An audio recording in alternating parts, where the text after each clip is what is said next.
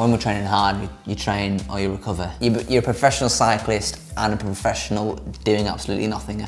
It can be incredibly boring being, being a pro. If you're doing like just activities that aren't really going to help you in the race, then there's not much point in doing them at the end of the day. From day to day, we, well, we, we all have our own coaches. I'm working with my own coach, uh, Jody. So normally on like a Sunday night, all of my um, week's training will get uploaded to Training Peaks. Kurt Bogaerts coaches me. He sets training and then I upload the data from my Garmin. All I need to do is just look on my phone, like today, like four hours with somewhat like efforts in, whatever, whatever it may, may be. If I'm just training, no racing, I go like three, three training days, one day easy. Yeah, probably in a week, it'd be maybe yeah, 25 plus hours.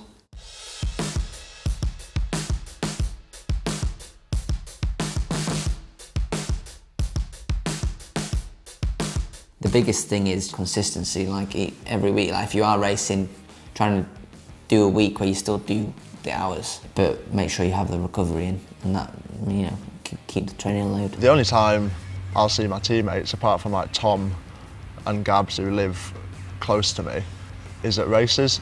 And depending on what races it is, I might not see a teammate for over like two months. It's quite full on when you are with your team at a race or a training camp or whatever. But yeah, for the most part, you, you yourself at home training. I don't find it hard because I think if you really want to make it into a career, you know, you've got to put that work in. And obviously, just love riding my bike with like friends. Even when I'm on my own, like I don't mind riding on my own and training on my own. So, no, I don't, I don't find it much of a problem really. For me, it's not hard. Living in Yorkshire, there's so many people to ride with. I like almost have my own team here that I train with. There's not many places in the UK that are, that are like it and um, there's so many roads that you can go on, like nice quiet roads. It's great going abroad, like on, on training camp and stuff, to like Calpe or Mallorca, but I think in the summer there's nowhere I'd rather be like training than here.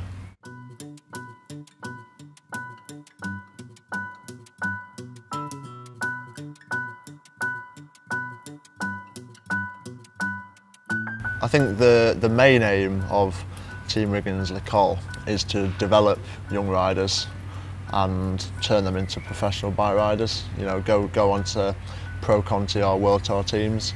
Being a development rider means you know racing, making mistakes, and learning from them. Especially if you go if you go into a race aimlessly, it's pointless because you're not going to learn anything because there was no, no target. So if you go into a race with a target or a job, you're either going to be successful at it and you know that's how you do it, or you're going to make a mistake and you can learn from it. What you give will eventually get given back to you. So in my, my first year on the team, pretty much every single race I would just like help helping other riders. But then eventually it'll become your turn to, you know, start going for the actual results and have other people helping you. At the start of the, of the year, like I was, I was heavily marked in races and I sort of sort of tried to be too clever about it and let people go at the road and then try and you know come come later to the front and in races you need to be at the front or within touching distance of the front to be able to you know contest the final. And and to do that you need to almost be aggressive to get away from other riders. That's the biggest thing I've learned. From my first year on the team to now I think I think I've grown as a rider um, especially in like racing situations, you know, like where where to save myself, where to where to like push on. I managed to salvage something from the first half of the season and yeah, win Roubaix, which was it sort of made up for everything really. Like if if I hadn't have won there or just didn't have the legs, and it was sort of would have been, you know, my confidence would have taken quite a big hit. I think I knew I could win, but I didn't feel like I could win. So it was it was yeah, it was really nice.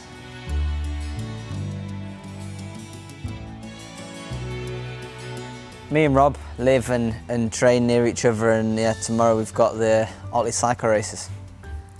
Best race of the year. I uh, started racing, that was one of my first first races. Yeah, my dad's won it twice, my brother's won it three times, and I've won it three times.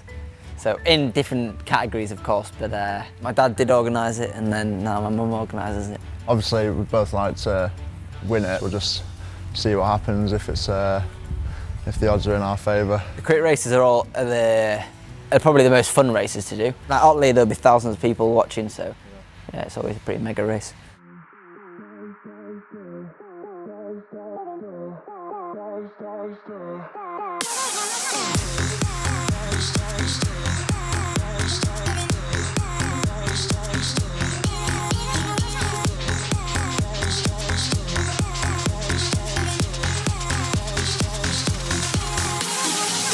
My name's Sonia Harper.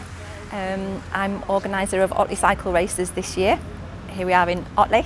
Um, I'm mum of uh, Tom and Joe Pidcock. They're both racing this evening.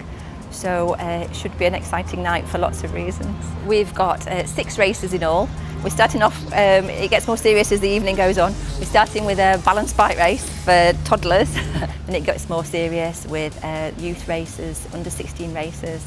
And then we have uh, the Chevin Cycles Classic race, which is for the amateur men. And then we go on to the elite women, the women's Grand Prix, and then the men's Grand Prix last of all.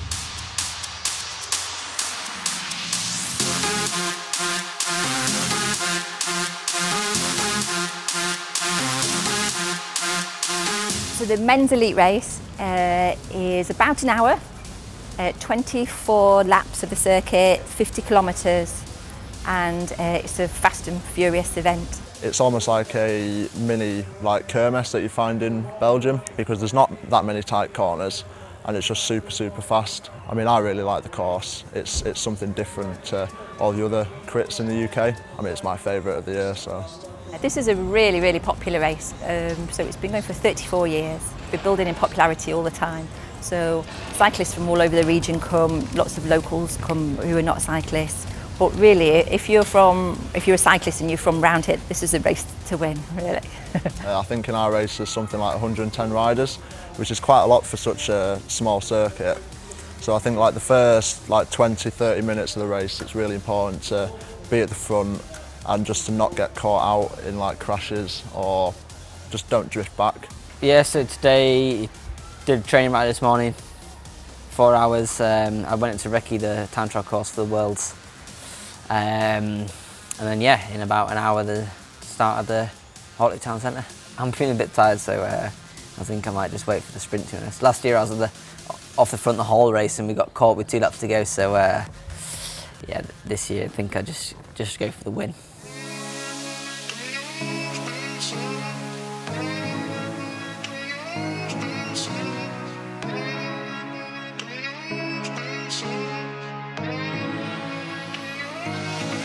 So my first introduction to Otley cycle races when was when my husband used to race. We used to come when the, my boys were small and watch Giles race. And so uh, Giles won the classic race a couple of times, which is pretty inspiring for my boys really to see their dad win in front of really big crowds. Probably it makes sense actually, like all the people cheering for him and uh, I think that did inspire me quite a lot actually. I, I never really knew it did to be honest. Yeah, I do get nervous before these these sort of races. Um, mainly because you just want to win them so bad. Nah, well, not not before this race. You know, this race is, you know, it's just local and uh, you know all, all, friends, family, and know, loads of people we know are here. So it's just it's quite a relaxed atmosphere, and so yeah, you know, good banner.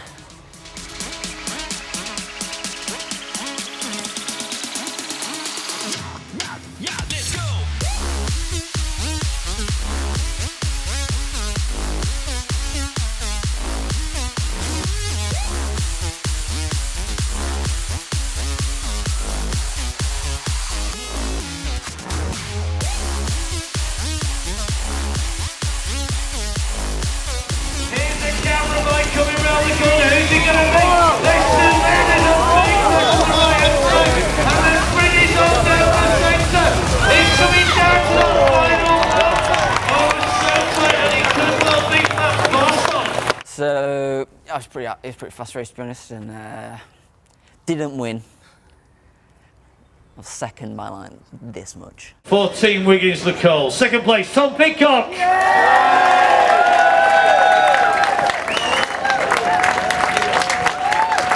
I was in a move just towards the, towards the final, and then, you know, the team started doing lead outs, so got brought back. But I, you know, stayed in the front, and uh, yeah, around the last corner, I went round the outside of Russ Downing, and well, he crashed. So I, I hope he's all right. Towards the end, I was getting hungry, and I was like, I hope I don't like bonk here. But um, yeah, I just didn't have enough speed coming out the corner, and uh, yeah, Matt Bostock just rolled me on the line. So Matt Bostock.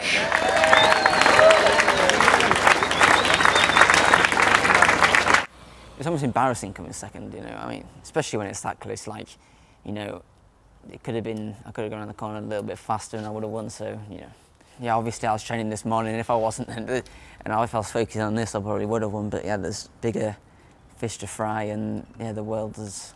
Well, I was riding the world's course this morning, so that's uh, yeah the most important thing in the in the long run.